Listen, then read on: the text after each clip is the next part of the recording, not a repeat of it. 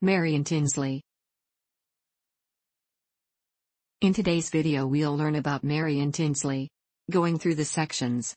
Abstract, Early Life and Education, Chinook Games, Death, Television Appearances, External Links, Abstract.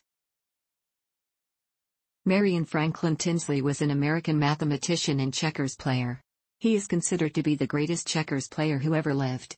Tinsley was world champion 19,551,958 and 19,751,991 and never lost a world championship match, and lost only seven games from 1950 until his death in 1995.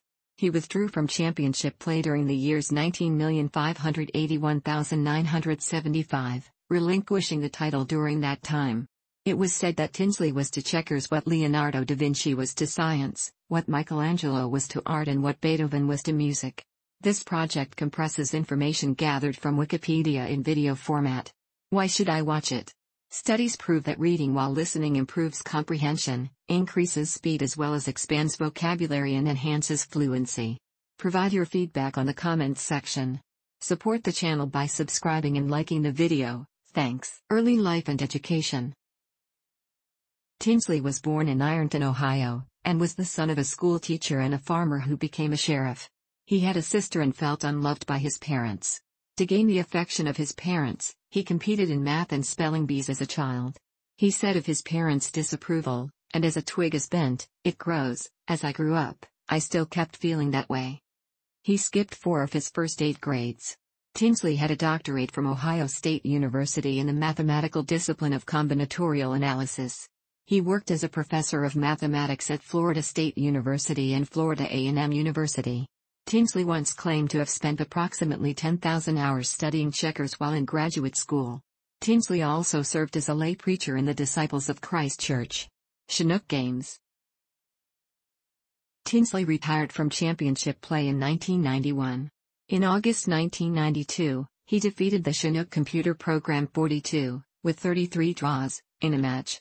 Chinook had placed second at the U.S. Nationals in 1990, which usually qualifies one to compete for a national title. However, the American Checkers Federation and the English Draughts Association refused to allow a computer to play for the title. Unable to appeal their decision, Tinsley resigned his title as world champion and immediately indicated his desire to play against Chinook. The unofficial yet highly publicized match was quickly organized, and was won by Tinsley. In one game from their match in 1990, Chinook, playing with white pieces, made a mistake on the 10th move. Tinsley remarked, You're going to regret that. Chinook resigned after move 36, only 26 moves later.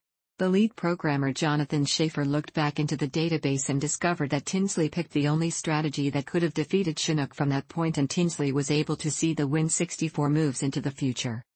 The ACF and the ADA were placed in the awkward position of naming a new world champion, a title which would be worthless as long as Tinsley was alive.